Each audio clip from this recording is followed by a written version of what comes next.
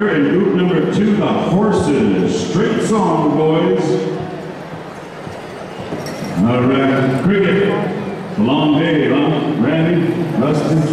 All right. Girls, here's your final song for 2012. We take it on.